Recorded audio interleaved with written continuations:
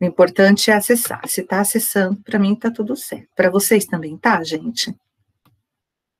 Vai estar tá tudo certo? Tá tudo certo? Vocês querem me apontar alguma coisa que não esteja dando certo na disciplina que a gente poderia melhorar?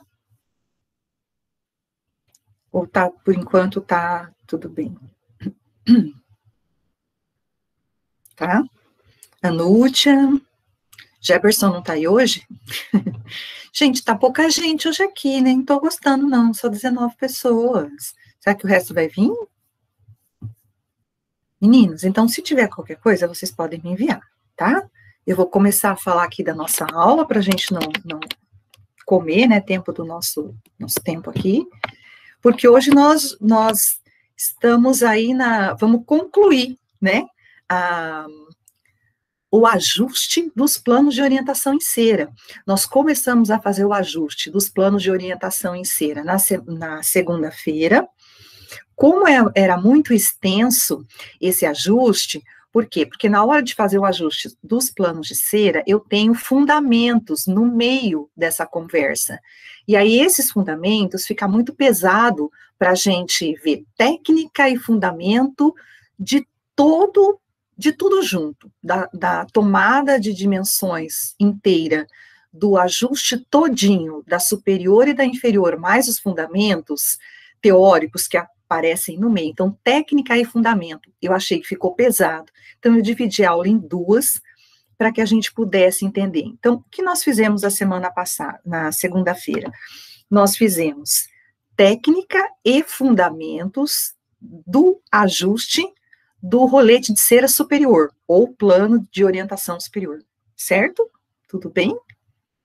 Então, aqui, ó, o que, que nós fizemos? Apontei para vocês como sendo a parte mais importante aqui da reabilitação. Tudo bem que tem um livro que diz assim, ó, errou na moldagem, na primeira coisa que você vai fazer, errou na moldagem, não fez uma moldagem bem feita e mesmo assim seguiu em frente, você comprometeu a sua PT todinha. Tudo bem, eu aceito essa colocação.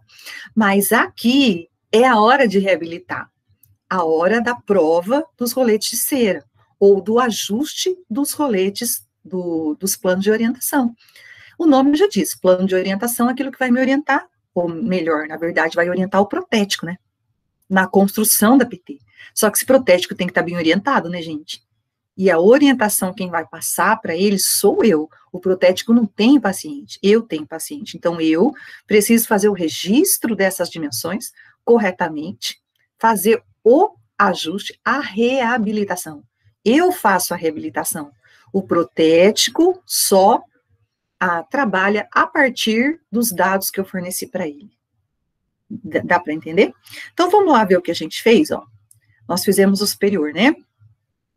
O que, que, são mesmo esses planos de orientação em cera? São esses roletes de cera que a gente monta, que substituem ou simulam os rebordos, né? Para eu poder começar aqui a reconstrução daquilo que o paciente perdeu. Por onde nós começamos aqui a reconstrução? Eu acho que. Vamos ver se o próximo slide já, já é. Isso aí. Até onde a gente reconstruiu. Então, vamos ver o que, que a gente fez. Vocês lembram o que, que a gente fez primeiro? E aí, os passos da técnica têm que seguir essa ordem. Para fazer o ajuste, do plano de cera, eu começo pelo superior, e no superior, primeira coisa que eu vou fazer vai ser a curva de compensação de SPI e de Wilson. Então, eu comecei pelo número 4. Ajuste, começa pelo superior. Coloco ali o rolete de cera superior e a primeira coisa que eu vou ver nesse ajuste são as curvas de compensação. Então, vou acertar a curva de compensação de SPI e de Wilson no superior, uh, já dando a altura labial de 2 milímetros abaixo do lábio. Então, fazendo isso, eu já estou acertando aqui a curva de compensação. Se eu tiver dúvida se eu deixei degrau, né, entre a região anterior e a região posterior do rolete, eu posso aquecer é, na chama esse é, rolete superior e posso colocar naquela plaquinha de conformação, que é a placa de conformação de curva de Spee-Wilson. É uma coisinha bem baratinha, né, para eu ter, por exemplo, não é difícil. Ou mesmo, gente, se eu não quiser ter aquilo, eu coloco sobre a placa de vidro. Aí eu apenas aperto levemente para eliminar degrau, se eu tiver degrau. tá? Aqueço e aperto, eu não vou perder. Aí posso até experimentar de novo para ver se eu não perdi os 2 milímetros na região anterior. Mais importante que eu fiz ali a curva de compensação. Se vocês forem tendo dúvidas na técnica, ou perguntas assim, ah, prof, por que, que já não pode fazer assim ou assim? Conto com vocês para estarem falando, tá, gente? Então, a primeira coisa que eu fiz no superior foi a curva de compensação, depois eu pulei lá para o número 2, para o suporte do lábio superior, lábio e bochecha, onde eu acrescentei cera por vestibular ou removi para poder dar a forma do lábio que eu achei mais bacana. E aí, com o paciente com o espelho, para concordar comigo que aquela posição ficou legal. Nosso tempo está em acordo, eu e o paciente. Se eu gosto e ele não, não vai rolar, gente, né? Se ele gosta e eu não, também não rola. Então, tem que ter uma parceria, parceria legal, né? Aí fiz esse suporte por vestibular e aí eu pulei para o número 3, para fazer as linhas de referência que vão me orientar na posição dos dentes. Essas linhas de referência estão aqui nessa imagem, ó, facinho. Eu fiz primeiro a linha média com o Lecron, depois eu fiz a linha do canino, as linhas do canino que estão bem aqui no canto da boca mesmo, viu? Na comissura labial mesmo canto da boca. E depois eu fiz a linha do sorriso, pedi para a paciente sorrir arreganhado, dar um sorrisão bem arreganhado, e marquei ali onde o lábio superior foi parar. Então, nós terminamos aí, certo? Estão comigo? Vamos seguir, então. O que, que nós vamos fazer agora? A gente vai fazer o inferior. Conhecer a técnica de ajuste do plano de orientação inferior. Nesse meio tem um recheio esse recheio é o fundamento, então o fundamento ele sempre vem aí recheando a técnica, para não ficar muito pesado, coloquei para cá, e também porque esses fundamentos eles se referem à construção da inferior, tá? Depois vamos de novo refletir sobre a importância da reabilitação correta. Conto com vocês estarem me falando aí no final da aula aquilo que vocês acharam mais importante, mais legal, aquilo que para vocês veio como um conceito fundamental, tá? aquilo que para vocês veio falando assim, ah, isso aqui eu achei que foi mais importante. Então, eu conto com vocês para me dizer isso depois, tá, gente? No... Tá, tranquilo aqui para vocês também. Vamos lá? Fazer a prova do ajuste de plano de cera inferior. Aqui a imagenzinha está mostrando o superior. Partiu inferior. O que, que eu vou fazer? Vou pegar o plano de, de cera inferior, vou colocar na boca, a gente nunca coloca de frente, a gente faz igual a moldeira, igual moldeira, a gente puxa uma parte do lábio com o dedo e depois a gente roda, né, afastando o canto, introduzindo na lateral e depois encaixando. Presencialmente a gente vai estar tá fazendo isso e já quero sinalizar para vocês aqui no meio da aula uma coisa bem legal. Ontem eu estive no nosso laboratório e ele está pronto. E ele está pronto. Yes! Gente, se tudo der certo, e o corona permitir, no mês de abril, nós começamos as nossas práticas, tá? Mas vamos pedir a Deus. Pode continuar aí fazendo suas orações, atendendo, acendendo suas velas. Eu também vou continuar aqui. Mas parece. Fala bem. Isso. Mas você acha que a clínica ela começa no início de abril ou no final? Isa, eu mandei a minha programação para a primeira semana de abril. Agora, eu preciso de um. O laboratório já tem condições, já está pronto para isso. Eu preciso só que o prefeito colabore, prefeito de Londrina, o Corona também, né? Nós, precisa, nós precisamos de um aval das autoridades, né? Se as autoridades nos proibirem, nós não, não temos como nos colocar contra essa proibição. Então, eu acho que é só isso mesmo. Tá, então, tá, obrigada. Mas eu, a minha previsão foi primeira semana de abril. Vou atualizando vocês em relação a isso, constantemente. Esse mês é possível, né, prof? Oi, Matheus. Esse mês, será hum? que não rola? Não, Matheus, eu acho que esse mês, né, acho que não. Não por conta do laboratório não estar pronto, ele já tá, daria para a gente já ir amanhã, se a gente quisesse, né? Porém, precisamos aí de alguma coisa que está apontado, sinalizado para nós como dia 17. Eu tenho aí essa, eu tenho essa, só um pouquinho, ver se não é ninguém de vocês que está chamando, minha coordenadora, acho que não, né? É, eu tenho essa data na cabeça aí, 17. Não sei, alguém sinalizou ontem mesmo que eu estive lá, alguém falou para mim assim, algo de dia 17. Então, acho que é alguma coisa que se refere a decreto da prefeitura. Mas, Matheus, eu tô de olho, tá? Tô atenta, tá bom? Gente, vamos falar aqui então do ajuste do plano inferior. Eu coloco na boca do paciente, a primeira coisa que eu vou fazer é ver aquela linha incisal, é ver o quanto da, do rolete de cera está aparecendo para cima do lábio, ou que não está aparecendo a, acima do lábio. Então, eu vou fazer como eu fiz no superior. A primeira coisa será a linha incisal. Essa linha incisal, ou seja, o rolete de cera, o limite, né, a, a parte superior ali, o, o, do plano de orientação, ele tem que estar exatamente no limite, na altura da divisão. Fala. São dois decretos diferentes para volta às aulas e para poder usar a clínica? Não, não são. Porque não são, o prefeito decretou que a volta às aulas, né? Certo.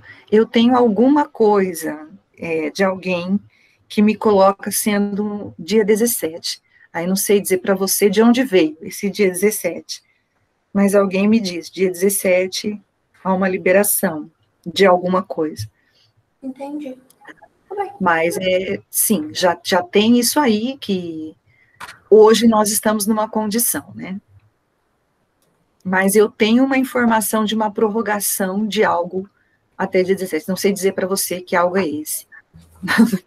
eu estou no aguardo. Por enquanto, a gente tem um pouco de teoria para estar tá colocando, né? Então, eu vou aqui seguindo a nossa teoria. Não era assim que era previsto, né? Era previsto que a gente falasse sobre a teoria e na quarta-feira tivesse o laboratório, falasse sobre a teoria na segunda e na quarta fizesse o laboratório. Mas isso não está podendo ser feito no momento.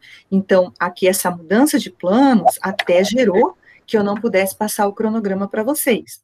Esse cronograma está sendo uma construção ainda, né? Então, nós estamos construindo a dentadura toda primeiro, a PT, e aí depois nós voltamos, nós vamos para o laboratório e retomamos os passos, certo? Foi a estratégia que eu achei que se encaixaria melhor para o momento, tá? Então, aqui, gente, olha, a linha incisal dessa primeira prova essa parte aqui que eu estou sinalizando com o mouse, que é a parte de cima do rolete inferior, ele vai ter que estar exatamente no limite, onde termina a parte seca do lábio e começa a parte úmida. Sabe esse vermelhão do lábio? Ele termina, né? Tipo onde a gente passa batom. Onde você termina o batom e começa a mucosa oral para dentro, naquele limite vai ficar essa parte de cima aqui do rolete inferior. Ou seja, ele não fica aparecendo. Quando eu olho para o paciente com o rolete dentro da boca, eu não vejo, tá? Praticamente não vejo. Se eu vejo, eu vejo uma coisa bem tênue, bem fina, mas eu não devo realmente estar tá enxergando nada muito acima dessa linha limite, que é a linha onde termina a mucosa seca e começa a mucosa úmida.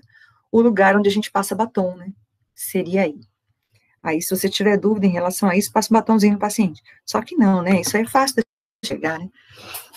Nesse caso, então, eu tenho duas possibilidades, porque esse rolete foi construído pelo protético, mesmo que tenha sido construído por mim, pode ser que isso esteja mais alto dessa linha, ou pode ser que esteja muito abaixo dessa linha, e tem que estar exatamente no limite, né, dessa linha. Então, se tiver, por exemplo, abaixo, está muito abaixo da linha que divide a mucosa seca da mucosa úmida, eu faço aquilo que eu já fiz antes no superior, né? eu corto um pedacinho de cera, dobro no meio, aqueço esse pedacinho de cera e coloco ali, ó. Coloco ali, né, no, coloco no, na parte anterior, você pode colocar nela todinha, mas geralmente a gente coloca só na parte anterior mesmo, por quê? Porque depois a parte posterior desse rolete de cera vai sofrer outros ajustes. Então, se o meu problema é aqui o lábio, né, a linha do lábio que eu quero marcar, a linha incisal, então dá para colocar só mais na frente aqui, e vamos ver os próximos ajustes depois, entendem? Aí eu coloco um pouquinho mais de cera ali se tiver muito baixo. E se tiver muito alto, eu faço aquilo que eu já fiz também no superior. Eu aqueço a espátula na chama, e com ela quente, eu coloco ela sobre a superfície essa superfície oclusal aqui do modelo do rolete inferior. Só de colocar a espátula de cera aqui, ela já derrete a cera, a cera já vai pingando. Então, já diminuo a altura desse rolete. Deu para entender? Lembrando que ele vai vir reto para mim. Ele vai estar tá reto nesse momento, o inferior, tá? Não tem curva de espia aqui. Porém, eu vou trabalhar isso aqui daqui para frente agora, certo? Daqui para frente. Tudo bem até aí? Bom, esse passo aqui continua sendo igual o passo superior. Eu também preciso restaurar o lábio inferior. Eu restaurei, eu dei uma conformação melhor na musculatura do lábio superior. Agora, por vestibular, eu vou fazer aquele acréscimo ou remoção da cera, né? Coloco mais ou tiro para poder harmonizar esse lábio inferior. E essa parte é até importante eu colocar o rolete de cera superior paciente para ver como que tá o rolete superior, esse lábio, né? E poder harmonizar também o lábio inferior para ficar um perfil legal, né? Um perfil harmonioso. Aí eu olho o paciente de perfil assim, vejo se tá bacana o contorno do lábio superior com o contorno do lábio inferior. E se for necessário, eu acrescento cera. Se for necessário, eu tiro cera por vestibular. Essa parte a gente já fez, né? Acho que tá tranquilo, né? Tá sossegado. Se estiver em dúvida, pergunte. Essa parte é a parte que complica, que é a parte do fundamento. A única parte que faltou, que a gente ainda não fez até agora, foi a reabilitação, a reconstrução das relações intermaxilares, a relação entre a maxila e a mandíbula. Tá? Então, essa parte a gente deixou por último, que no seu slide vinha em primeiro lugar, talvez como lugar de importância. Só que nós deixamos para o fim, porque não dá para fazer esse ajuste agora, é, per, perdão, não daria para ter feito esse ajuste antes. Esse ajuste ele tem que ser feito no modelo inferior, ou seja, no plano de orientação inferior. O superior está pronto, gente. Então, superior eu não vou mexer mais. Agora eu estou mexendo só no inferior. E esse ajuste das relações intermaxilares, entre maxila e mandíbula, eu vou fazer só no inferior. No superior não posso mexer mais. Tá bom? Que relações são essas intermaxilares? Eu tenho aqui apontados uns nomes novos para vocês. DVO, dimensão vertical de oclusão, DVR, dimensão vertical de repouso, espaço funcional livre e relação de oclusão cêntrica. Então, essas quatro coisas, obrigatoriamente, fazem parte da reconstrução da PT e vão entrar aqui no ajuste do rolete inferior. Tá? Rolete, plano de cera. Mas olha que fácil que é. Olha que fácil que é entender o que, que é DVO. DVO é um conceito que você vai trabalhar na sua odontologia inteirinha. Como eu falei, todas as matérias se utilizam desse conceito que aparece aqui em prótese, né? DVO é dimensão vertical de oclusão. A DVO, ela nada mais é do que a altura do terço inferior da, da face. A altura do terço inferior da face quando os dentes estão travados. Não precisa apertar, né? Tá só fechar. Quando a boca tá fechada, o dente tá encostado, eu meço da ponta do nariz até a ponta do queixo, o terço inferior da face. Mas quando, quando os dentes estão em oclusão. Isso para mim é DVO. O nome já diz, dimensão vertical de oclusão. Então, sem segredo, gente, ó, altura do terço inferior da face. Esse é um valor em centímetros. O problema nosso é outro. Se o paciente tem dentes, não tem segredo nenhum medir essa dimensão vertical de oclusão. É só medir com uma régua ou com uma fita métrica. Aqui, da base do nariz até a ponta do queixo, né? A base do nariz, tá? Terço inferior. Mas se o paciente não tem dente, já perdeu isso, né? Ele perdeu a dimensão vertical de oclusão. Eu estou tentando reabilitar. Como é que eu vou adivinhar aonde era a dimensão vertical de oclusão certa dele? Difícil. Sem dente. Bom, então nós vamos tentar fazer um atalho, né? Um caminho colateral aqui, para ver se a gente chega na dimensão vertical de oclusão que esse paciente deveria ter para reabilitar, mesmo que ele não tenha dentes, eu vou pegar um atalho para chegar nessa dimensão vertical de oclusão. Esse atalho vai ser pela DVR, pela dimensão vertical de repouso, tá? porque aqui eu tenho um segredo nessa dimensão vertical de repouso.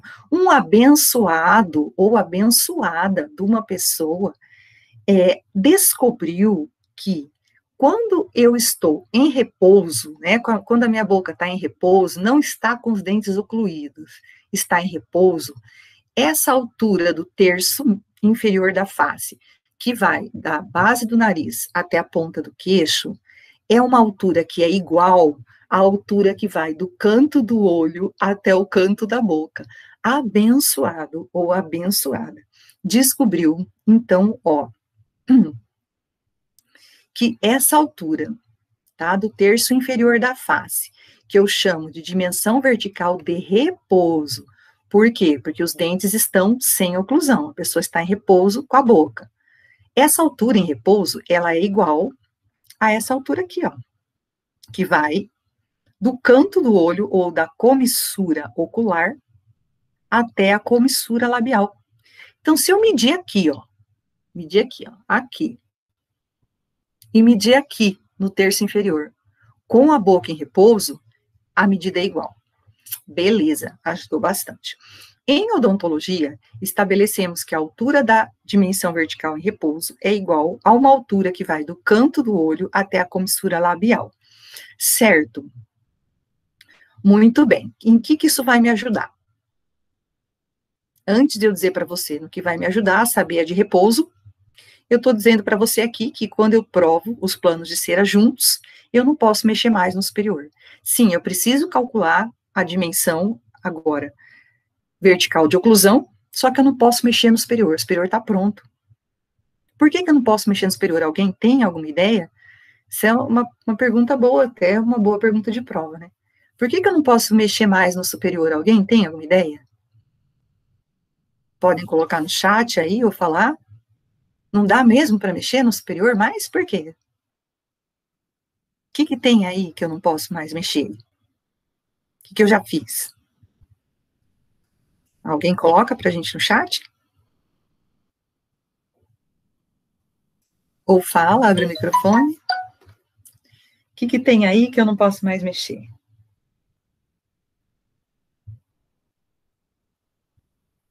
Ninguém fala? Bom, gente, eu já fiz aqui a, a curva de SPI, né? Então, se eu mexer no superior, estrago a curva de SPI. Já fiz a curva de Wilson também. E já fiz aqueles dois milímetros para baixo do lábio superior, que é reconstrução incisal. Não, não, não dá para mexer mais aí. E por causa mesmo da curva de SPI, eu não posso fazer a DVO pelo superior. O superior está pronto, não posso mexer. Então, a DVO que eu for ajustar, eu tenho que ajustar no inferior, como eu falei para vocês. Tudo que eu vou fazer daqui para frente. Muito bem, o que, que nós temos até agora para descobrir essa tal dessa DVO no desdentado? Nós temos a dimensão vertical de repouso. Inclusive, a gente tem uma régua específica para isso. Se chama compasso de Willis. O compasso de Willis é isso que vocês estão vendo aqui embaixo. É uma barra de metal com é, vertical, né? Com graduada, né? Gradu, graduada, cheia de gradações, cheia de medidas em centímetros, graduada em centímetros, uma barra vertical, com duas barras horizontais, uma para eu medir o canto do olho, outra para eu medir o canto da boca, né? Canto do olho e o canto da boca. E eu venho aqui no paciente, coloco no terço inferior da face em repouso e vejo que coincide. Isso é o compasso de Willis. Eu tenho que ter? Tenho que ter. Na hora que eu for para a clínica, eu preciso comprar, não agora, quando for para a clínica, porque vai ser um instrumento com o qual eu vou calcular a dimensão vertical de oclusão. Bom, mas até agora eu só tenho a de repouso e o meu paciente não tem dentes. Mas olha essa informação que bacana. Quando o paciente está nessa dimensão vertical de repouso, ou seja, está com a boca entreaberta, o que, que é dimensão vertical de repouso, gente? É babá, né? É babá? É, eu estou dormindo e estou babando. Estou babando. Com a boca aberta. Eu durmo e a minha musculatura, masseter, músculos da mastigação, relaxam. E a boca fica entreaberta, né? É só aquele que faz bruxismo que dorme com a boca travada. Aquele que não faz bruxismo nem apertamento durante a noite, ele fica com a boca como, queridos? Vai dizer que você não fica. Você fica sim, que eu sei, tá? Quando a gente dorme, a gente baba, certo? Vocês não vão dar nem uma risadinha porque eu fiz isso? ok. Quando a gente fica com os músculos da mastigação em repouso, nós temos um espaço que se cria, que é o espaço funcional livre. E esse espaço funcional livre, ele é da ordem de uns 3 milímetros. E isso já é assim para todo mundo. Eu não estou com o chat aberto, né? Eu estou com o chat aberto? Eu não sei. Mas em todo caso, eu já coloquei aqui. Agora eu estou. Agora eu tô com o chat aberto. Não estava, tá? Perdão, eu dizendo que vocês estavam falando e eu é que não estava com o chat aberto aqui. Então, gente, é Eusir Amor com E minúsculo, tá, lindos? O YouTube. Eusir Amor com E minúsculo.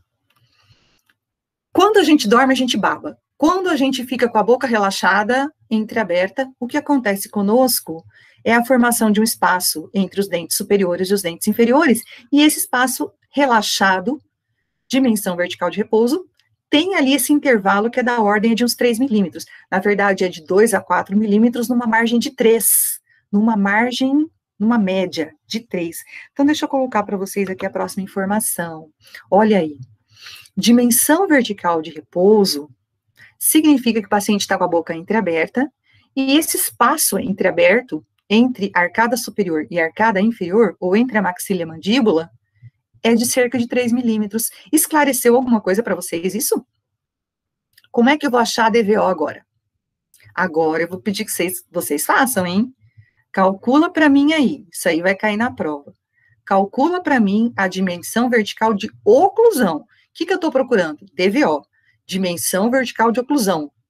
Como é que o paciente que altura que ele tem no terço médio quando ele fecha o dente. Só que esse paciente é desdentado, ele não tem dente. Então, eu fiz um atalho, eu vim pela dimensão vertical de repouso, que eu posso medir com uma régua, com passo de Willis, tá?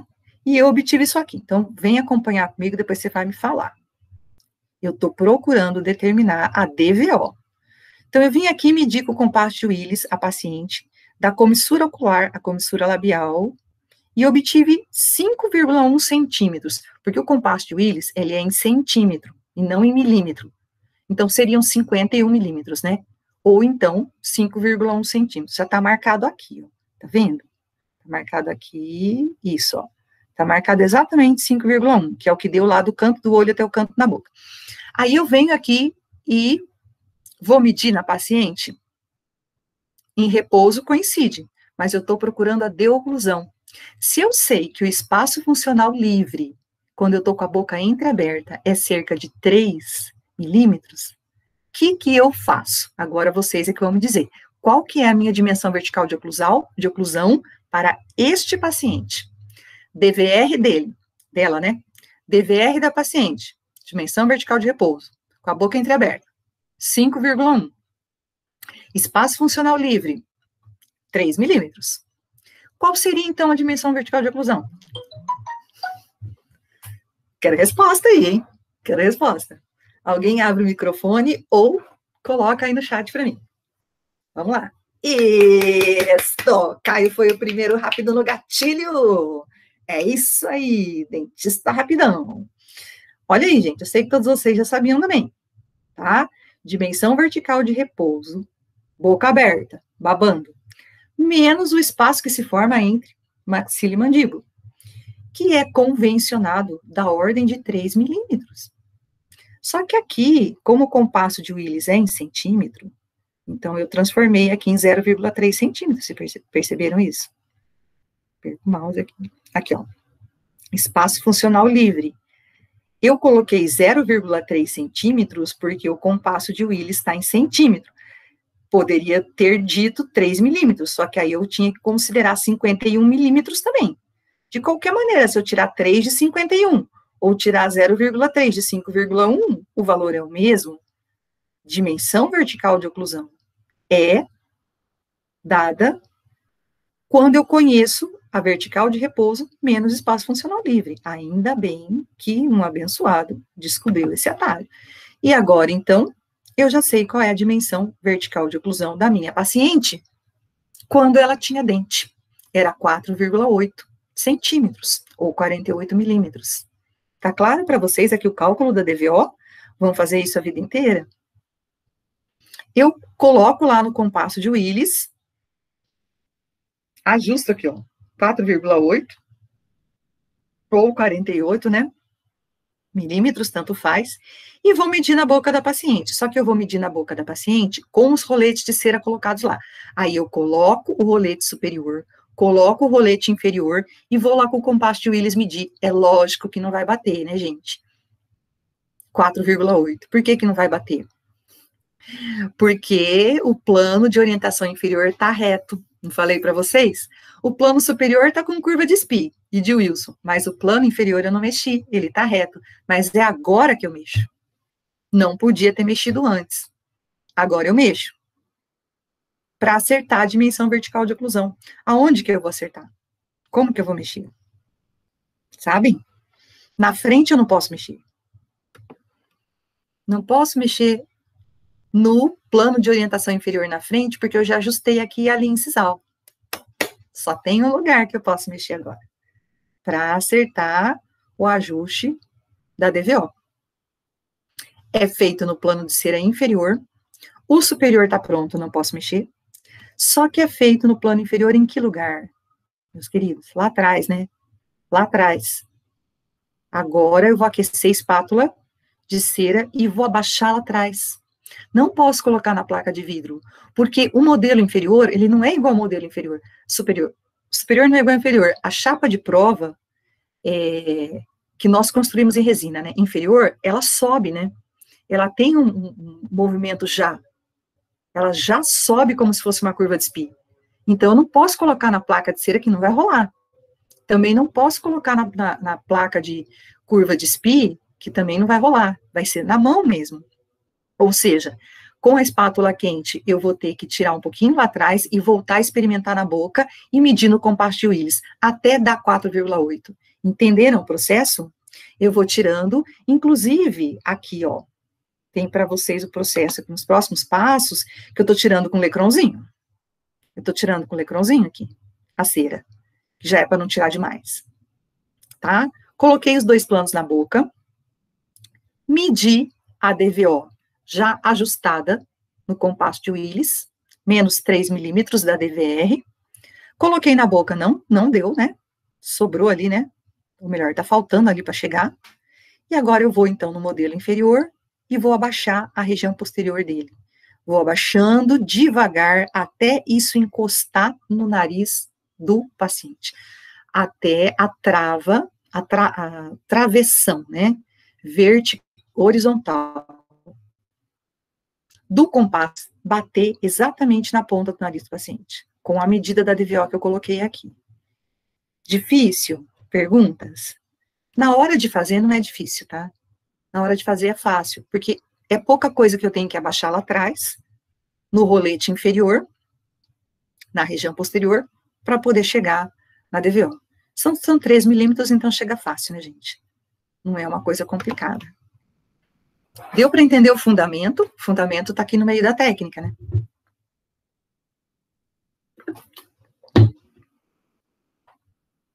Certo? Tudo bem, gente? Relações intermaxilares, então. Relação entre a maxila e a mandíbula. A última coisa que eu estou fazendo para finalizar o ajuste dos planos de orientação em cera. Calculei a DVO, dimensão vertical de oclusão, a partir da DVR e do espaço funcional livre. O que está faltando para nós? Só está faltando isso, a relação de oclusão cêntrica. Então, dá-lhe mais fundamento. Dá-lhe mais fundamento agora. Tá? Então, vamos lá. Nós temos três possibilidades em termos de oclusão. Três possibilidades quando eu fecho a boca e encosto os dentes. Essas três possibilidades representam para mim as relações maxilo-mandibulares. Eu tenho aqui a primeira possibilidade, relação cêntrica, então eu posso fechar, eu posso ocluir os meus dentes. Ocluir, fechar, né? Encaixar. Eu posso encaixar os dentes em relação cêntrica, Eu posso encaixar os dentes em máxima intercuspidação habitual, chamada MI, ou eu posso ocluir, fechar os dentes em oclusão de relação cêntrica. Três possibilidades. Vamos ver cada uma delas aqui, para a gente chegar na finalização da PT. A primeira delas, a relação cêntrica. Fechando a boca em relação cêntrica. O que, que significa? Na verdade, não é uma posição dentária. A relação cêntrica é uma posição condilar. É aquele momento em que eu fecho os dentes e, por coincidência, o meu côndilo ele está no melhor lugar da ATM, mais bem posicionado na ATM. Onde é a melhor posição do côndilo na ATM?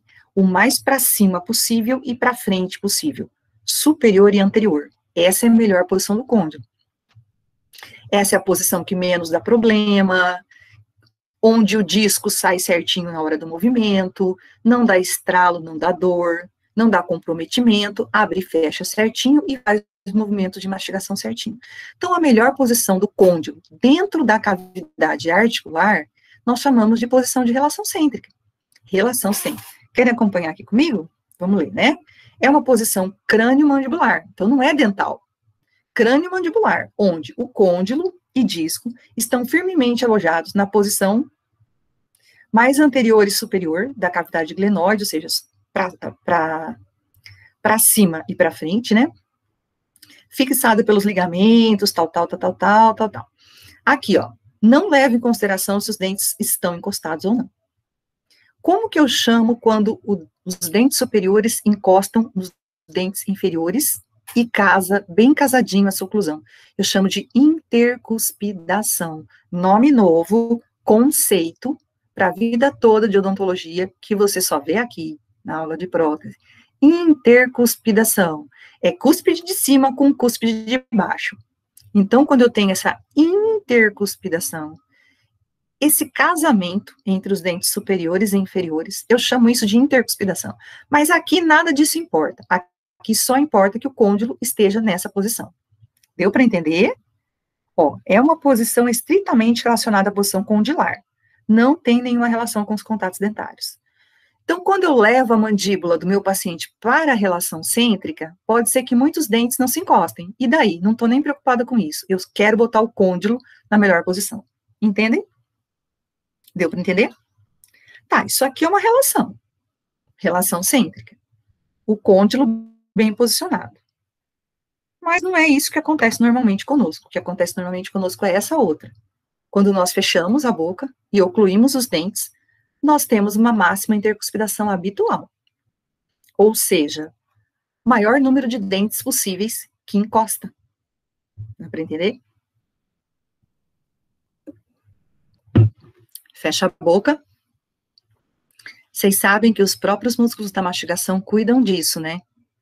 Eles não fecham enquanto não encostar o maior número de dentes possíveis. Inclusive, eles desviam a nossa mandíbula para o lado onde encosta mais. Aí é que vem o problema, problema de ATM. Os músculos ficam tortos por isso.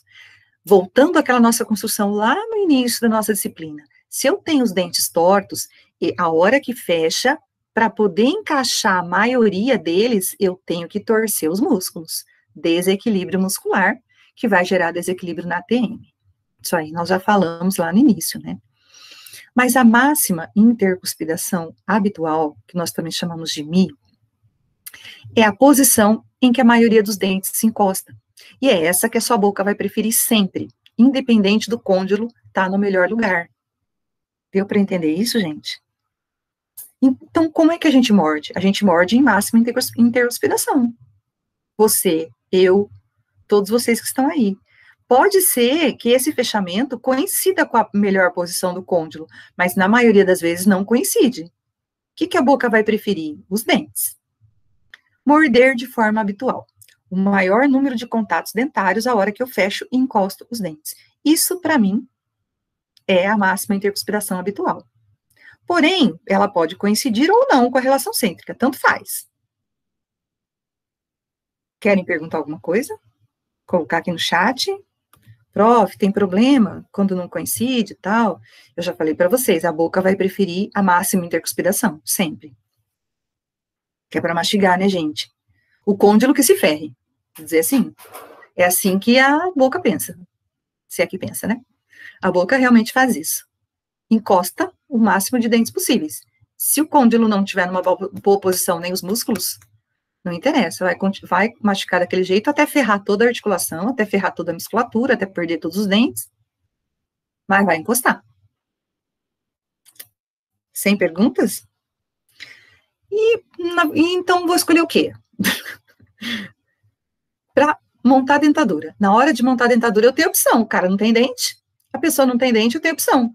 Em que, que eu vou montar? Eu vou escolher montar em relação cêntrica, melhor posição de côndilo, ou vou escolher montar os dentes na máxima intercuspidação habitual. Então, a pessoa não tem dente, prof. Pô, não tem dente, mas ele tá com os dois roletes de cera dentro da boca, né? E eu tenho que manipular essa mandíbula ou em relação cêntrica ou em máxima intercuspidação, tem que escolher. Fazer uma escolha aqui, para finalizar. e mandar agora para o protético fazer dentadura. O que, que vocês vão escolher? O que, que vocês escolheriam? Transferir para vocês aí a responsabilidade. O que, que vocês escolhem? Vamos ver. Vocês escolhem montar uma dentadura em máxima intercuspiração ou escolhem montar em relação cêntrica? Podem pôr no chat ou falar. Sem medo. Tudo que vocês falarem que vocês vão acertar. Fala. Fala, não vi no chat ainda. Vocês têm duas escolhas aqui, ó. Máxima intercuspidação, pode colocar só Mi. Ou então relação cêntrica, pode colocar RC. O que, que vocês escolhem? Lorena escolheu incêntrica. Quem mais, gente? Bruno, Isa, Caio, Anúcia, tá. Matheus, Sandro. Fala. Abriu o microfone e fala. Isa quer montar incêntrica. Quem mais? Quem mais vota na cêntrica? Por enquanto, a cêntrica está ganhando, máxima interconspiração perdendo, vem correndo logo atrás, está alcançando a relação cêntrica. Quem vai ganhar? Quem vai ganhar? Só isso, gente. Só a Lorena e a Isabela que escolheram. O resto não vai dar opinião aqui. Sandro, Bruno, Matheus, Anúcia, Bruna. Fala, Matheus, sei que você está com vontade. Vamos, gente, não estamos sabendo, não. O que, que vocês escolhem? Ah, vocês estão me decepcionando desse jeito, hein? Aqui a mãe Matheus botou excêntrica, Matheus já vi aqui. E o resto, gente? O que, que escolhe, meninos?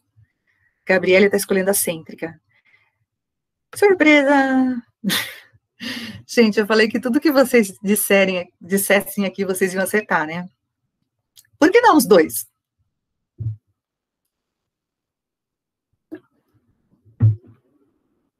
Bom, com a perda dos dentes, deixa de existir uma posição habitual, né? Ele não tem máxima intercuspidação habitual, ele tinha. Quando perdeu todos os dentes, ele perdeu o encaixe, então perdeu a máxima intercuspidação habitual. E intercuspidação é uma palavra que se refere exatamente ao casamento dos dentes de cima com o de baixo, né? Cúspide com cúspide. Então, não tem máxima intercuspidação. Então, isso me desobriga né, de montar na posição de máxima intercuspiração habitual. Porém, né, já me dá a oportunidade de fazer casar as duas coisas. Me dá a oportunidade de fazer casar as duas coisas. Se eu tenho alguma chance, é agora. Porque na, num paciente que tem dentes, na maioria das vezes eu não consigo fazer coincidir a máxima intercuspidação habitual com a relação cêntrica, ou seja, a melhor posição dos dentes com a melhor posição do côndilo. Eu não consigo fazer as duas coisas. Faço ajuste oclusal, coloco aquilo certinho, dali um ano o paciente volta com isso diferente outra vez. É a vida, né? Porém, eu vou me esforçar para isso. Mas agora eu tenho chance. O paciente não tem dentes, eu manipulo a mandíbula dele até eu conseguir a melhor posição de côndilo relação cêntrica, travo a dentadura aí, o rolete de cera, né?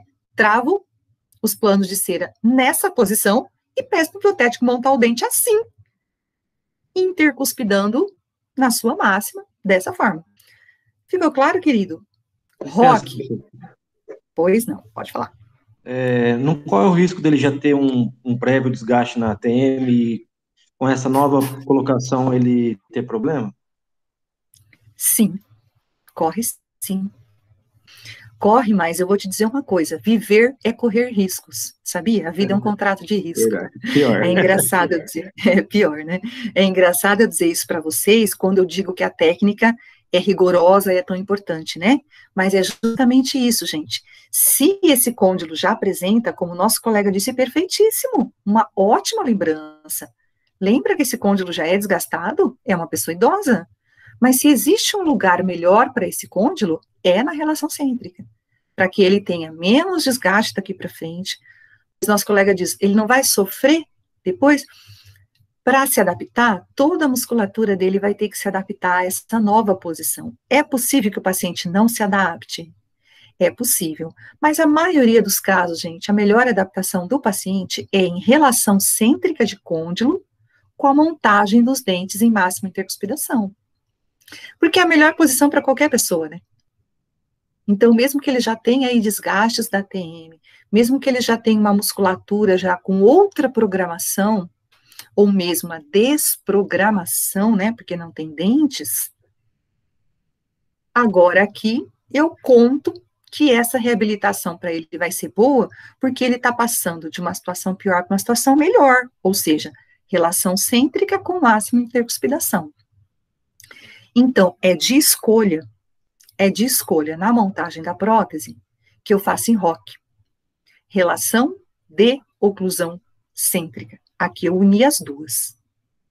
RC com Mi. É conveniente que eu faça nessa posição, já que eu tenho a oportunidade, né? E a chance de reabilitar, eu vou reabilitar com o côndilo na melhor posição, fazendo casar com a intercuspidação a possibilidade de melhor adaptação dele com tudo, tanto desgaste, né, de osso, de ATM, de músculo, ainda será melhor nessa situação. Por isso que ela é preconizada na prótese. Mas como o nosso colega está apontando, pode não dar certo, pode não dar certo. Aí, gente, é aquela parte, né? Eu fiz aquilo que eu achava mais conveniente para um substituto conveniente, né? Mas tem esse lado. E aí você foi até onde você podia ir. Se o paciente quiser que você faça outra prótese, quem garante que ele vai se adaptar àquilo que você fizer? Ah, faz outra que eu não gostei dessa. Tá bom, eu faço. Você paga? Pago, eu faço. Se pagar, né? Porque você foi até onde a sua responsabilidade como dentista deveria ir. Se o paciente não gostou da peça, você diz, eu posso fazer outra, se você pagar, eu faço outra. Mas provavelmente ele também não vai gostar. Tá? Porque aí já problema de adaptação é do próprio paciente. Dá para a gente indicar uma fono, né? Tudo. A, a, até, até a gente, aonde a gente puder ir como profissional, a gente vai. Mas querer ir além do que nós, do nosso papel como profissional, já não dá para garantir sucesso, né? Você pode até querer ir além, mas não dá para garantir que vai dar certo. Dúvidas, sugestões, podem dizer aí, gente. Bom, olha que legal. Como que a gente faz, então, essa posição de relação cêntrica? Porque é isso que nós temos, não temos dente. Então, a gente vai manipular a mandíbula do paciente até o côndilo encaixar nessa melhor posição. É fácil? É tão fácil assim. Não é tão fácil assim. Primeiro, eu vou colocar os dois roletes de cera lá, no plano de orientação. Superior e inferior. Colocar os dois, dá um tempinho para o paciente acostumar ali, tá? Aí eu pego a mandíbula e começo a soltar, né? Começo a manipular. Você sabe que os músculos dele estão adaptados de uma outra forma. É a primeira vez que ele está com esses roletes dentro da boca, não tá fácil também para o paciente ali. Aí você vai manipulando devagar a mandíbula, o queixo, e diz para soltar. E fala: olha, solta, solta o queixo, solta, deixa bem molinho, deixa bem molinho o queixo. Você vai até sentir que o paciente não está segurando mais com a musculatura, que ele relaxou. É assim que faz, gente. Essa é uma tomada, né, que uma tomada de referência bastante subjetiva. Importante, importante, mas ela é subjetiva. Tem algumas outras formas de você tomar, assim, fazer um jig, é, colocar um arco facial, tem outras formas de tomar. Mas geralmente elas são tão é, trabalhosas que os próprios livros trazem as técnicas e preconizam, olha, faz na manipulação que dá certo do mesmo jeito. Aí você manipula a mandíbula, espera que haja um relaxamento interessante, faz alguns testes de colocar, encaixar, você que vai encaixar. Você deixa, ó, o paciente deixa o queixo solto e você que vai fechar. Deixa o queixo solto, deixa que eu fecho. Solta, vê quando tá solto, bem soltinho, relaxado. Solta o queixo, deixa que eu fecho. Solta o queixo, deixa que eu fecho. Você vai tentando até ver a posição mais para trás possível que esse paciente consegue ir com a mandíbula. A posição mais para trás possível é aquela em que o côndilo vai encaixar mais para cima, tá? E se encaixa anteriormente na cavidade glenoide, na cavidade articular. Certo? É subjetivo isso, mas é assim. Pode pedir para o paciente levar a língua lá em cima, que fica mais fácil. Põe a língua no palato, que aí automaticamente a mandíbula já vai para trás. Deixa o queixo bem mole, deixa que eu fecho. E aí você, quando você vê que você conseguiu fechar o mais para trás possível, que o paciente permitiu, você encosta aquele rolete e coloca um grampo, e aqui são grampos de grampeador mesmo, grampo de grampeador. Coloca ali os grampos de grampeador fixando naquela posição. Meus queridos, faltou alguma coisa aqui nesse rolete inferior? Que tem aqui no superior, mas não tem no inferior? Faltou? Que aqui eu já prendi em relação cêntrica, né? Em relação de oclusão cêntrica. Isto. E assim como está, ou na boca do paciente, que é ainda melhor, né? Quando eu coloquei os grampos lá na boca do paciente, eu já marco a linha média. Na verdade, eu puxo a linha média do superior para baixo. Puxo a linha do canino para baixo, mas a linha do sorriso eu tenho que pedir para a pessoa sorrir. Eu tenho que pedir para sorrir escancarado e aonde der o inferior, eu faço a marcação do inferior. Melhor fazer isso sem os grampos, né, gente? Melhor fazer sem o grampo, né? Antes de fazer a relação cêntrica. Aí eu marco a linha do sorriso, marco as outras linhas, antes de fazer a relação cêntrica. Depois eu manipulo em relação cêntrica e tenho aí, então, os planos prontos. Tanto o plano de orientação superior, como o plano de orientação inferior. Nós levamos duas aulas para fazer isso, porém, dizer para vocês que na hora de fazer esse ajuste não é tão demorado assim. E não é tão difícil assim como a gente imagina. O que é que tem aí que um, facilita esse processo? O que, que facilita esse processo? O, o conhecimento teórico, a fundamentação. A fundamentação teórica que facilita o processo. Eu sei que eu tenho que construir. Ó, tá aqui, nesse slide, né? Então, nesse slide está essa fundamentação teórica toda que constitui a reabilitação. Olha aqui. Eu sei que eu tenho que construir as curvas de compensação. Isso tem que ser no superior. Eu sei que eu tenho que construir o suporte lábio-bochecha. Eu faço isso nos dois. Eu sei que eu tenho que fazer as linhas de referência, que é onde vão ficar os dentes. E eu sei que eu tenho que fazer certinho ali a DVO, tá? E a relação central. Sabendo de tudo isso, a fundamentação teórica não apresenta dificuldade na hora de fazer o ajuste. É só aquilo que eu falei para vocês. O que vocês decidirem como ficando melhor esteticamente para o paciente e também um, melhor reabilitado, tá? Uma construção de vocês dois, você e o paciente, é aquilo que você vai assinar embaixo depois. Né?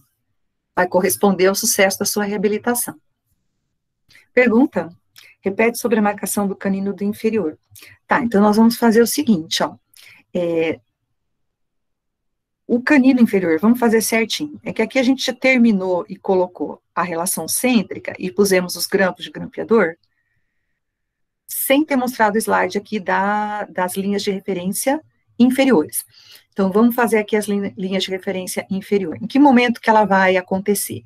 Depois que eu tiver feito a DVO. Depois que eu tiver calculado a DVO, medido do compasso e acertado a DVO lá atrás, então, o penúltimo passo antes da relação cêntrica vai ser a marcação das linhas. Coloco os dois roletes lá na boca, o plano superior e o plano inferior, e a linha média eu já marco puxando. A linha média ela tem que coincidir, a superior e a inferior. Já marco puxando.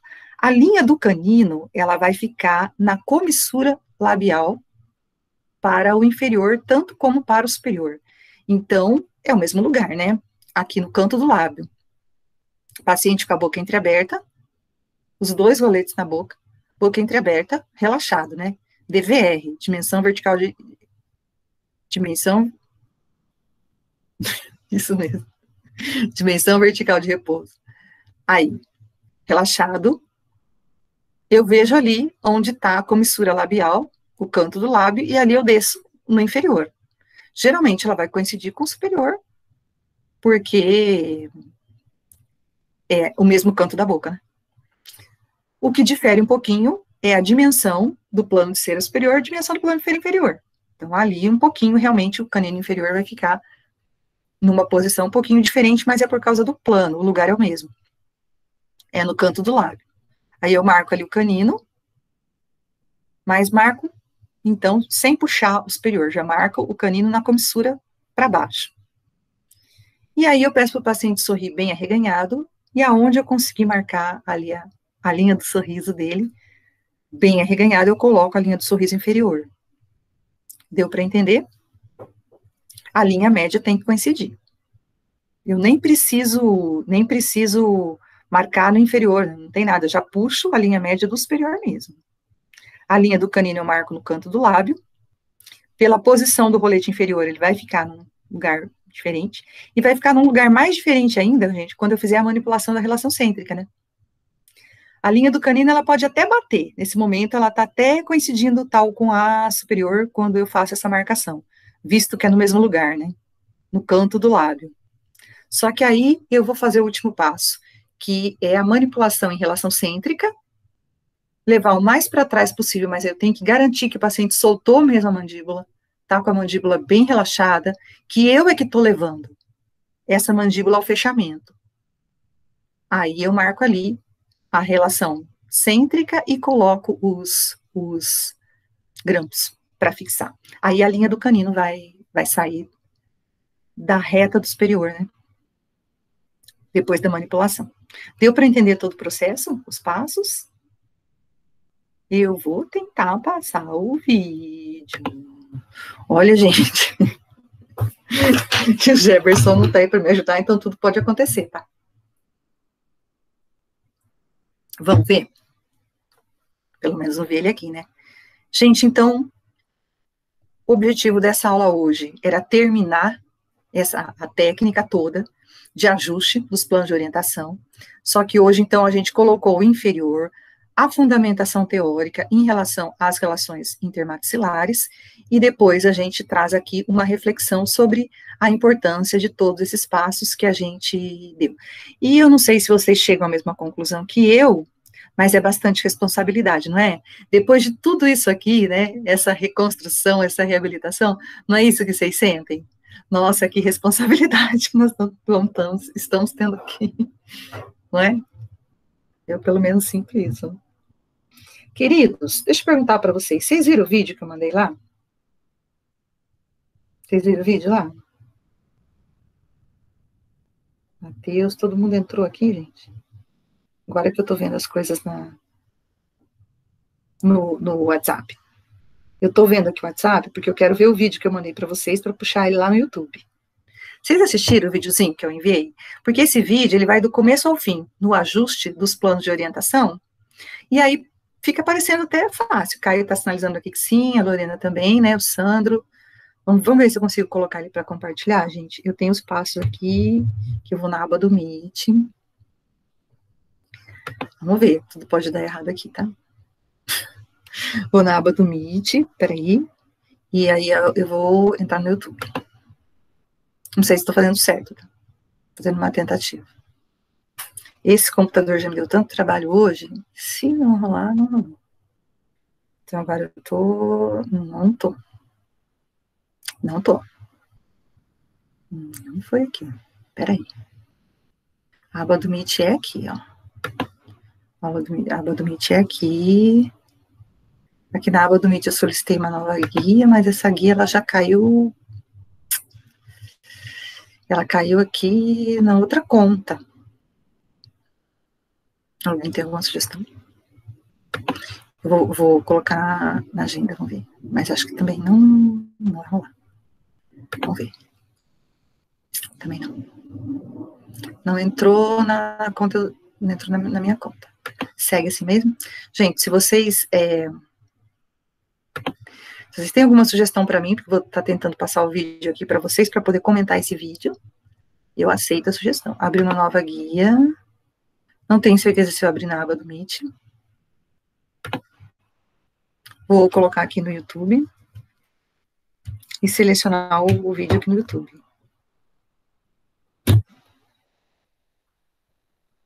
Estou tentando, né? Não é assim a gente vai fazer laboratório. a gente vai tentar também. Né? Vai tentar, mas lá vocês podem contar com a prof para orientar. Eu não estou mais vendo o chat, que eu estou em outra tela. Vamos tentar abrir aqui o vídeo, se der, deu, se não der, eu conto com vocês. Professor, eu acho que você tem que parar de apresentar os slides para aparecer. Tá, vamos ver então. Interrompeu o compartilhamento, Anutia? É isso. Isso, ah, eu acho que é, porque a gente só tá ah, vendo. Peraí, Anutia. O slide, né? Tá, deixa eu minimizar então. Minimizei o slide. Agora vocês não estão vendo mais, né? Isso. Então, eu entrei aqui na aba do Meet, tá, tá bem na aba do Meet aqui, tá?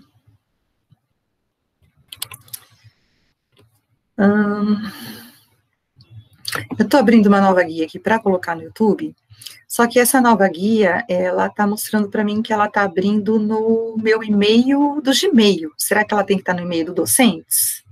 Ou não? Ou tanto faz? Ah, professora, eu acho que tanto faz. Tá, então vamos, vamos seguir os passos aqui, igual eu falei para vocês. Segue o passo da dentadura também, que nós chega lá. Relações intermaxilares, relações intermaxilares, maxilares, é isso. isso. Em pacientes vocês estão vendo a minha tela? Desdentados. A tela que eu digo, a tela aqui, né? Desdentados completos. Gostaria de poder comentar com vocês o vídeo, né? Vamos ver aqui. Relações intermaxilares paciente completo, já achei aqui a tia. Aliás, essa paciente, gente, ela se parece muito com a dona Esther que era aquela que eu falei para vocês, que foi minha paciente. Então, agora deixa eu seguir os passos aqui. É a cara da Dona Esther. Agora eu tenho que voltar para a tela. Já minimizei. Ai, meu Deus. Voltar para a tela. Não aconteceu nada aqui. Tem uma tela aqui. Vocês estão vendo aqui a tela do, eu tenho que selecionar alguma coisa aqui. Vamos ver, seleção, apareceu. Esse aqui.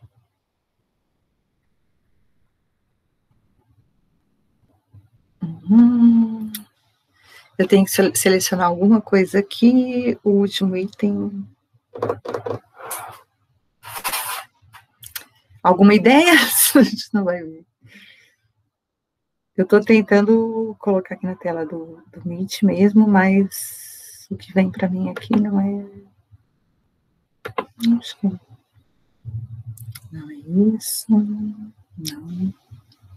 É, gente, tá faltando aqui o Jefferson para me ajudar na orientação aqui, porque eu tenho que chegar num lugar onde eu acho que eu achei bom. Ah, achei. Tá. Transmitir. Procurando dispositivo, nenhum dispositivo. É, eu acho que daqui desse passo eu não consigo passar. Vocês estão vendo alguma tela aí de, do YouTube, não? Alguém pode sinalizar para mim que eu não estou vendo? Não, professora, tá tudo preto. Parece. Você está compartilhando a guia que você tá? Compartilhando. Não, eu não cheguei ainda aonde eu tenho que selecionar o YouTube, que eu tinha que voltar para a tela, minimizar o PowerPoint, selecionar aqui um item para poder. Peraí, deixa eu voltar aqui para tela. Essa. Acho que. Peraí, gente. Acho que agora. Professora. Fala. Tenta abrir o YouTube, não sei se já está na mesma guia que está o Meet. Então, aí é que tá. É que eu acho que eu não tô. A hora que eu abro o YouTube, ele não vem na mesma guia do Meet. Abre, vai na, hum. na janela que está o Meet. Já fui. Cliquei nele. Tá só aparecendo vocês aqui. Aí você tenta abrir mais uma aba lá em cima, no maisinho. Então, aí quando abre a aba, abre só no meu e-mail, no meu e-mail comum. Deixa eu tentar passar essa aba para institucional. Passei a aba para institucional. Agora, só que aí não aparece o YouTube. Vamos ver mais uma aba no institucional. Não. A aba que está abrindo, está abrindo só no, no e-mail normal. Na aba institucional não aparece o, aparece YouTube. Ah, apareceu. Selecionei. Calma aí, acho que agora vai. Agora vai, gente. Acho que eu achei o que, que eu errei aqui, tá? Então, a gente ainda tem tempo, né? Eu deixei o tempo para isso mesmo. Pela... Relações.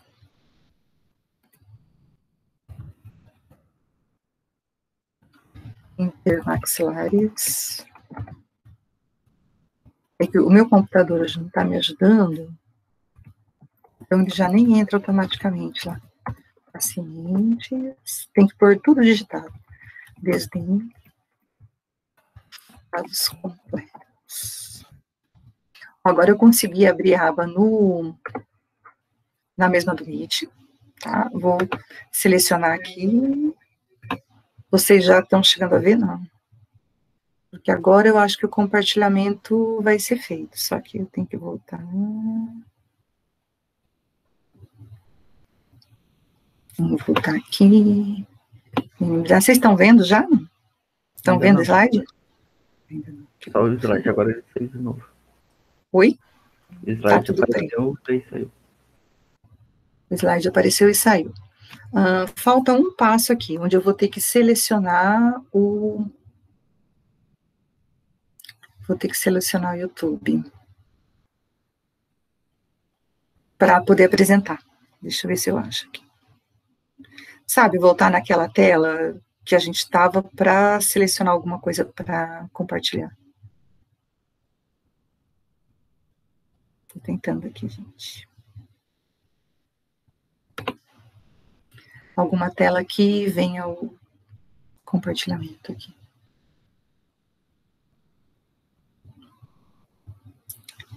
Vamos ver. Se abre aqui.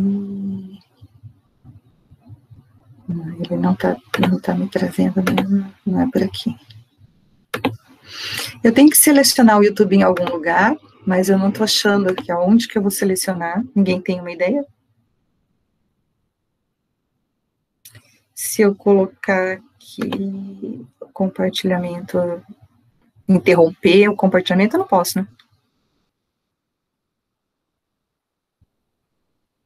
Nada, gente. Vocês estão tentando falar comigo no chat? Professora, eu... eu acho que não tem problema se você interromper o compartilhamento da tela. Então, vamos tentar esse caminho, Núdia, juntos, né? Quem sabe a gente consegue realmente. Deixa eu deixar nessa tela aqui, interromper o compartilhamento para poder talvez criar um outro compartilhamento aqui. Para mim só fica nessa tela. É, agora talvez dê certo.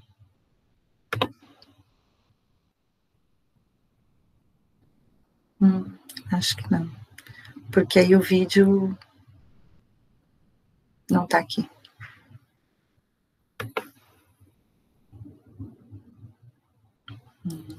Interrompi o compartilhamento, mas o vídeo não está aqui nesse momento. Mas eu vou continuar tentando aqui um pouquinho para ver se a gente consegue chegar mais uns minutinhos. Se não der, acho que eu achei. Vamos ver. Vamos ver se era aqui mesmo. Para poder selecionar o, compartilhamento da tela do. Deixa eu cancelar aqui o compartilhamento. Cancelar o compartilhamento da tela.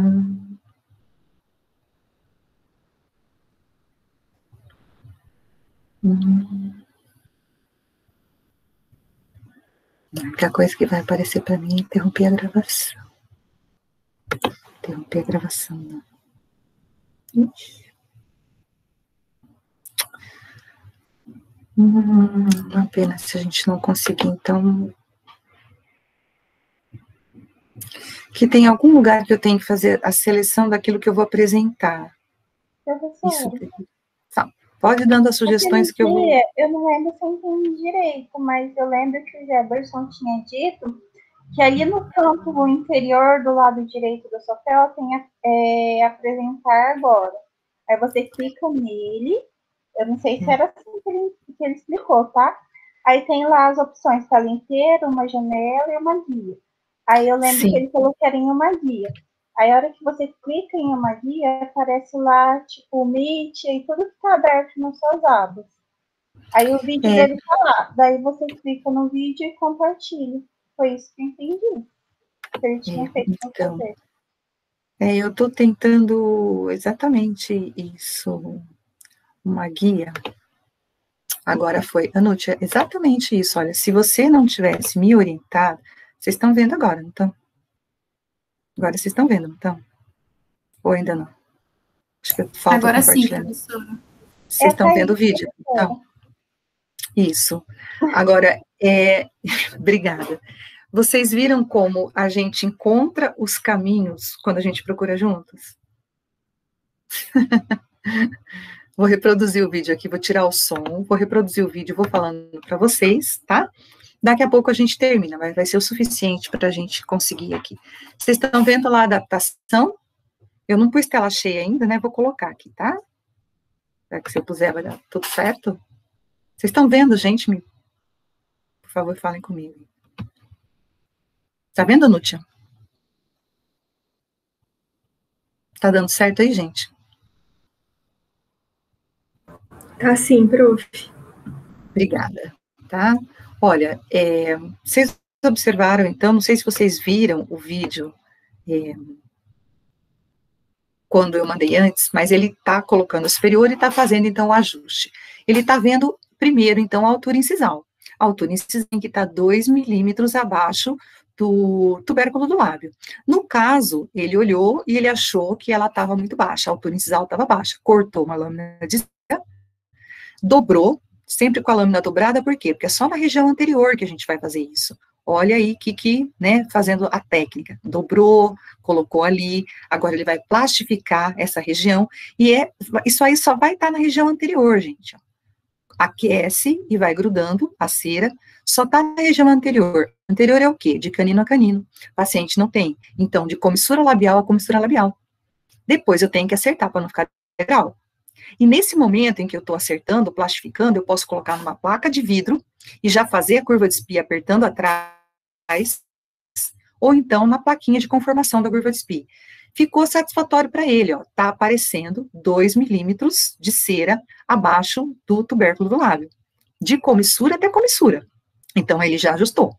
Agora, ele vai dar um up, né, nesse plano oclusal que tem que estar tá certinho, com a régua do, de Fox, que é para acertar exatamente o paralelismo com o plano de Camper e garantir que a curva de SPI não tem degrau, que ela está correta.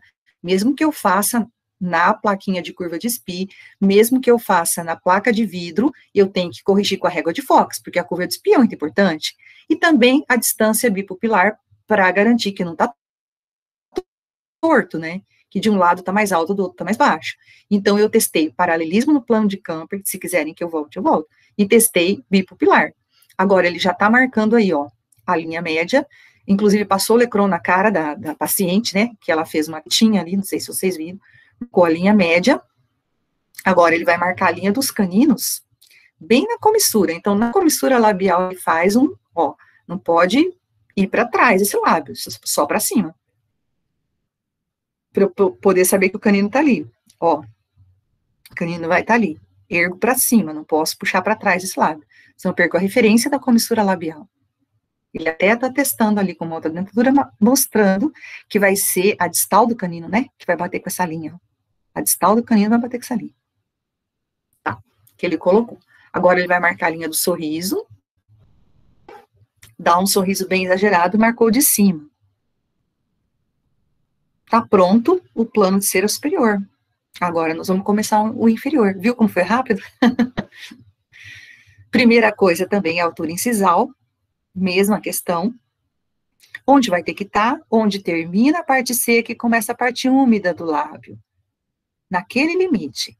Se precisar, eu acrescento cera, se precisar, eu tiro cera. No caso, ele também achou que estava baixo, vai fazer o mesmo processo, uma cerinha dobrada, vai colocar ali, vai plastificar, aqueceu a espátula. Essa espátula de gesso que eu estou pedindo para vocês comprarem. Bom, essa espátulazinha é melhor, porque ela pode ser aquecida e fazer esse trabalho. Ajeito. Eu não vou me preocupar agora se eu deixei degrau. Por quê? Porque depois eu vou acertar DVO. Então, acerta aí na frente, agora eu vou fazer DVO. E aí os degraus vão sumir. Vamos lá, o marco da comissura palpebral até a comissura labial, canto do olho até o canto da boca, canto do olho ao canto da boca. Quanto que deu? 5,1. Coincidência, né? Muito bem, se eu sei que a em repouso é 5,1, é só eu tirar o espaço funcional livre, que é 0,3 centímetros ou 3 milímetros, e regular a régua de, a, compasso de, Will, de Willis em 4,8 ou 48 milímetros, né? Põe lá 4,8 centímetros. Regulou? Essa vai ser DVO. Coloco os dois planos de orientação na boca. Superior e inferior. Coloquei lá os dois planos. Não tá, né? Já deu para ver que tá faltando. Agora eu vou tirar lá atrás. Então, eu vou com a espátula, aqueço, olha o que ele está fazendo. Ali ele mexeu até na região superior, na região anterior lá do lado. Na verdade, não deveria, porque ele está abaixando a linha incisal que ele já construiu. Você só sacrifica a sua linha incisal se a DVO não estiver certa. Caso contrário, você abaixa só na região posterior. Mas se aí você não alcançar a DVO, aí você abaixa tudo. Vai sacrificar a linha incisal tá bom? Colocou as duas, tá pedindo para erguer a língua lá em cima. Antes tem que marcar as referências, linhas de referências no superior, para ele fazer a relação de oclusão cêntrica. Bota a língua lá em cima, leva essa mandíbula lá para trás. Ele já fez a manipulação em relação cêntrica aí. Agora ele vai colocar os grampos. Você pode marcar com lecron onde foi para o paciente não sair dessa relação de oclusão cêntrica.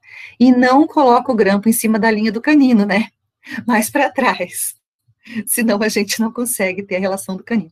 Aqui faltou as referências inferiores. Né? Sorriso, canino e linha média. E ele já terminou ali. Bom, gente, deixa eu interromper aqui o vídeo e ver o que vem para mim aqui de apresentação. Temos uns minutos finais aí para suas dúvidas apesar de toda o atrapalhamento aqui, eu procuro colocar para vocês aqui que toda dificuldade que a gente passa e que vocês certamente vão passar em algum momento, juntos a gente consegue chegar onde a gente precisa, né? Agradeço aí quem me ajudou e me orientou. Das outras vezes vou precisar de novo de orientação. Meus queridos, e aí, pergunta? O que, que vocês acharam que na aula de hoje foi mais significativo? Nós fizemos o ajuste do plano inferior, vimos aí alguns conceitos teóricos. O que, que você achou? Nossa, eu achei que esse conceito aqui foi fundamental. Podem colocar no chat aí para mim? Eu, não estou vendo o chat de vocês. Ou querem abrir o microfone para falar? Que, que vocês acharam? Nossa, isso aqui achei o mais legal da aula de hoje, foi isso. E o joia é que vocês permaneceram aí comigo mesmo depois das minhas é, atrapalhadas com o YouTube. O que, que vocês acharam que hoje foi mais fundamental para você? Pode ser qualquer coisa, não precisa ser um conceito, um conceito de fundamento. Fala assim, olha, prof, eu acho que a hora mais importante dessa, a hora que eu gostei mais, assim, de de estar tá fazendo isso, foi a hora que de fazer isso, isso aqui ou isso aqui. Podem me dizer aí no chat? Eu já estou vendo o chat de vocês. Ninguém falou nada ainda, gente.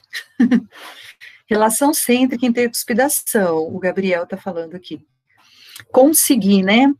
Olha que legal. Gabriel está apontando aqui como um conceito que ele mais gostou, poder ter a possibilidade de devolver para um paciente duas coisas ao mesmo tempo nesse momento: a relação cêntrica e a máxima intercuspidação. Também acho show. O que, que, mais que você achou assim? Nossa, esse momento aqui acho que é mais legal. É certo que a reconstrução inferior, né, ela é um pouco mais pobre em relação à reconstrução superior, né, gente? Mas tem um segredo aí, né? Falei para vocês no começo da aula. Tem um segredinho aí na hora de fazer esse ajuste inferior. Eu posso fazer isso independente do superior? Como é que vocês acham que fica um lábio superior de um jeito, um lábio inferior de outro? Fica bom?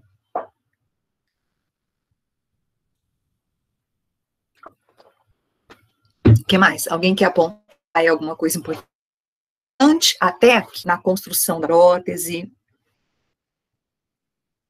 Até aqui, o que, que você mais gostou? Vamos aproveitar o último minutinho aí, gente, antes de, de sair. Sandro, Isa, quem permaneceu aí na minha sofrência do YouTube? Caio, Lúcia, Lorena tá aqui, Bruna, Natá, Natana, eu quase nunca falo, Thaís. Até aqui, tem algo que você diz, poxa, essa parte foi uma das partes que eu mais gostei da reconstrução ou da, da construção da PT. Gabi está falando, quando tiver prática, vai ser feito tudo na mesma aula ou em várias? Boa pergunta, Gabi. Nós vamos fazer como se nós estivéssemos fazendo as aulas práticas e nada tivesse acontecido. Então, deixa eu estar apontando aqui, vamos ver se eu lembro para vocês da sequência. São sete aulas programadas, sendo que depois da sétima, é, para a gente poder terminar, né, que a sétima é... Então, deixa eu ver se eu, se eu consigo lembrar aqui dos, dos passos para te dizer. Nossa primeira aula prática vai ser a cópia de um modelo, como se nós estivéssemos fazendo a moldagem de um paciente. Como nós não temos o paciente, a gente vai ter um modelo de gesso desdentado superior e inferior. E aí vocês vão fazer a cópia com alginato do modelo superior e do modelo inferior, vazar em gesso, e nós vamos também tentar moldar alguém. Tentar não, não vamos moldar. Nós vamos moldar alguém de vocês com alginato para mostrar para vocês a colocação. Então, essa seria a primeira aula, né? Como é que nós vamos lidar com alginato e com gesso. Esse é o objetivo da primeira aula prática. Num segundo momento, segunda aula prática, a gente vai construir a moldeira individual. Então, vamos ter uma aula para construção da moldeira individual. Vamos ter uma aula para fazer a preparo da moldagem funcional na moldeira individual. Vamos ter que vazar gesso de novo, tudo. Vamos ter uma aula para construção da chapa de prova, que é a base da dentadura, a base de prova. Vamos ter uma aula para construção dos roletes de cera ou dos planos de orientação. Vamos ter uma aula para simular o ajuste do, dos planos de orientação. Vamos ter uma aula de montagem no articulador, que é semana que vem, a parte teórica que a gente vai ver. E depois a gente vai começar a montagem dos dentes. Sei que a, a montagem dos dentes é a sétima aula prática. É lógico que talvez isso não aconteça nessa sequência exata. Alguém fique para trás, ou não dê tempo de terminar tudo de um. Aí a gente vai indo até terminar. Porque nós temos tempo para isso, né? Quando a gente entrar na montagem dos dentes, vai ser uma etapa demorada, porque a gente vai montar todos os dentes superiores e inferiores. E aí, nosso tempo já está no fim, falta um minuto.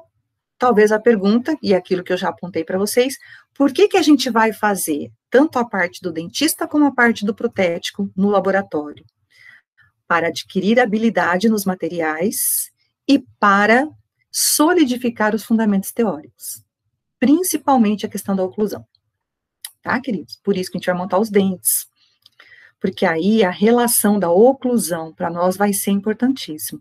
É aquilo que a odontologia inteira vai usar e só vai aparecer aqui. tá bom? Mais alguma pergunta que aqui a gente está encerrando? Obrigada pela companhia, pela ajuda de vocês. Vamos almoçar. Segunda-feira a gente se vê. Coloco o link. Ah, o Sandro vai passar um recado aqui, passa também no WhatsApp depois. Sandro. Tá? Gente, obrigada pela companhia, pela paciência. Segunda-feira a gente se vê. Bom resto de semana para vocês. Para quem for participar da reunião do projeto de formatura, o Sandro está apontando aqui tem aí alguma coisa para vocês. Eu vou parar a gravação, gente. Nós estamos gravando tudo aqui.